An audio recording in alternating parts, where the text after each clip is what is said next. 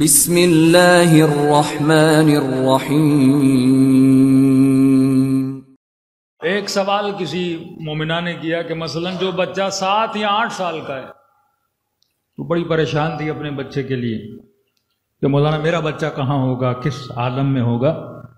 تو وہ بچہ ہو یا بچی ہو، اگر بلوغ سے پہلے یعنی بالغ ہونے سے پہلے، بالغ ہونے کا مطلب یہ جب آپ پر احکام الہی واجب ہو جاتے ہیں یعنی یہ بھی خدا کا کرم ہے کہ بچیوں کے لیے نو سال، بچوں کے لیے تیرہ سے پندرہ سال تک اللہ کہتا ہے فری میں کھاؤ، پیو۔ کوئی ٹیکس نہیں۔ ہاں؟ لیکن پندرہ سال کے بعد خدا بھی کیا لیتا ہے؟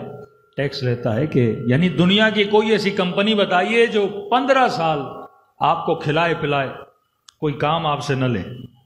ہاں؟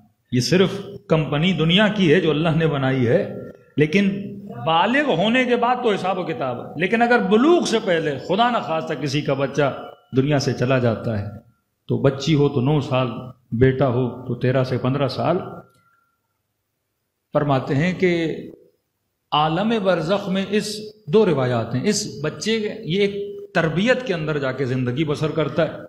یا اس بچے کی تربیت جناب سیدہ کرتی ہیں، یا اس بچے کی تربیت حضرت ابراہیم اور جناب سارا یہ اس بچے کی تربیت کرتے ہیں۔ مطلب اسے تکامل تک پہنچاتے ہیں، انسان کامل بناتے ہیں، اس کی ایسی تربیت کرتے ہیں۔ اور قیامت کے بعد اچھا یہ وہ بچہ جو با ایمان والدین کا بچہ ہو، یہ نہیں کہ کرسچن کا بچہ، یہ نہیں کہ کسی ہندو کا بچہ، ہمارے روایات میں یعنی دو، ایک مومن اور مومنہ کے بچے کی بات ہو رہی ہے۔ اور بلا استثنا جب قیامت ہوگی، یہ بچہ کہاں چلا جائے گا؟ کیونکہ تربیت کس کی؟ زیر نگرانی میں حضرت ابراہیم، حضرت سارا یا جناب سیدت العالمین کی نگاہوں میں تربیت ہوئی ہے، یہ فوراً جنت میں جائے گا۔ یہاں تک معصوم نے فرمایا کہ یہ بچہ جنت کے دروازے پہ کھڑا رہے گا۔ اللہ کہے گا اندر جاؤ، کہے گا نہیں۔ پروردگارہ جب تک میرے ماں باپ جنت میں نہیں جاتے ہاں تب تک میں یہ مت سمجھیے کہ جو اللہ آپ کو بچہ دیتا ہے وہ اسی طرح دنیا سے چلا گیا، تو اسے کوئی فائدہ نہیں۔ اہل بیت کا چاہنے والا علی ابن ابی طالب کی ولایت کا ماننے والا۔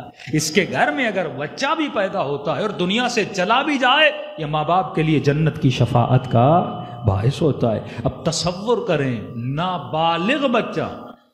جنت نہیں جاتا جب تک آپ کی شفاعت نہ کرے۔ اور اگر بچہ بالغ ہو جائے اور اس کی صحیح تربیت کریں تو اس بچے کا مقام کتنا بلند ہوگا۔ اس بچے کو علی اکبر جیسی تربیت دیں۔